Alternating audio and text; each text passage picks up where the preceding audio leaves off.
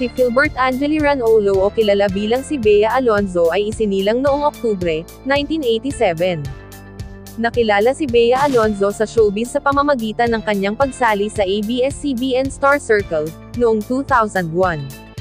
Si Bea Alonzo ay ipinanganak at lumaki sa Cainta Rizal. Nag-aral siya sa Jose Abad Santos Memorial School sa Quezon City.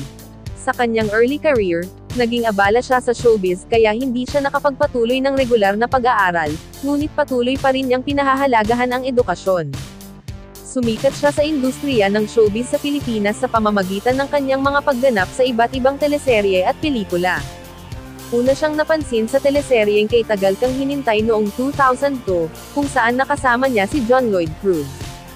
Ang kanilang tambalan ay naging matagumpay, na nagdala ng maraming proyekto para sa kanya sa telebisyon at pelikula.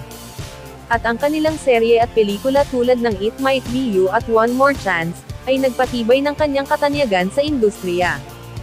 Ang kanyang husay sa pag-arte at chemistry sa kanyang mga leading men ang nagbigay daan upang siya ay maging isa sa mga pinakakilalang aktres sa Pilipinas. Bukod dito si Bea Alonzo ay isa sa mga sumikat na actress noong kapanahunan niya. Marami na rin itong award na natanggap mula sa mga matataas na kagawaran sa industriya. Alam mo ba na si Bea Alonzo ay maituturing na mayaman?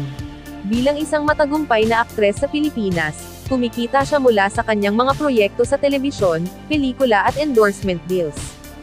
Bukod dito, may ilang negosyo rin siya, kabilang na ang pag-aari ng ilang ari-arian at ang kanyang investment sa agrikultura tulad ng kanyang farm sa Zambales.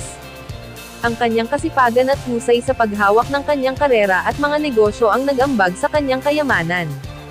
Maraming ang mga netizens ang labis na humanga kay Bea dahil sa mga naipundar nito.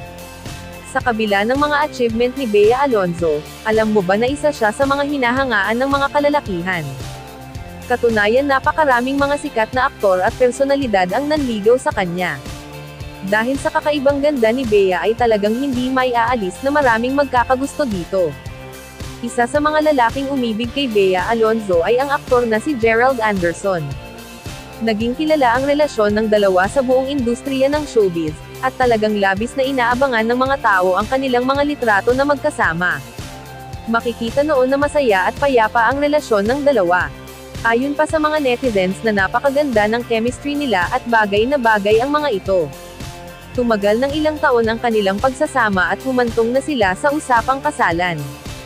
Ngunit isang araw ay nabalita na hiwalay na ang dalawa at kumalat ito sa buong social media platform. Maraming netizens ang nalungkot para kay Bea, ngunit ang mas nakapagpagalit pa sa mga netizens ay nang malaman na ang dahilan ng kanilang hiwalayan ay si Julia Barreto. Naging usap-usapan na third party daw di umano sa relasyon nila si Julia.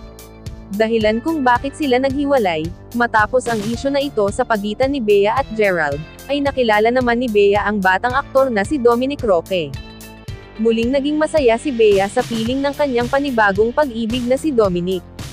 Sumikat ang relasyon ng dalawa at talagang maraming netizens ang sumuporta sa kanila. Kung mapapansin ang mga litrato ng dalawa ay talagang kitang-kita na mahal na mahal nila ang isa't isa. Umabot pa sa punto na engaged na ang mga ito, kung kaya't kasal na lamang ang inaabangan ng kanilang mga kaibigan at mga tagahanga. Ngunit talagang hindi pa nga yata sila para sa isa't isa. Sa kabila ng masayang pagsasama ng dalawang magkasintahan ay naghiwalay ang mga ito. Labis na ikinagulat ng mga netizens ang paghihiwalay ng dalawa. Gayong may plano na ang mga ito sa pagpapakasal, gayon paman alam mo ba na hindi third party ang naging dahilan ng kanilang paghihiwalay. Kumalat kasi sa mga social media platform na ang naging dahilan daw di umano ng hiwalayan ng dalawa, ay dahil hindi gusto ng ina ni Bea itong si Dominic. Sa mga lumabas na kwento ng iba't ibang mga vlogger, ay sinabi raw ng ina ni Bea na hindi gaanong mayaman si Dominic, kung kaya't hindi siya sang-asang ayon sa relasyon ng dalawa. Mayroon namang nagsasabi na ready na daw sana di umano si Bea sa kasal nila ng kanyang nobyo, ngunit parang si Dominic daw ang umatras sa sinabing kasalang ito, hindi man nabigyang linaw ang dahilan ng kanilang paghihiwalay, ngunit ang mga netizens ay nanatili ang pambabatikos sa aktor na si Dominic, samantalang nanatili namang single si Bea Alonzo ngayon, ngunit patuloy pa rin gumagawa ng mga proyekto at endorsement.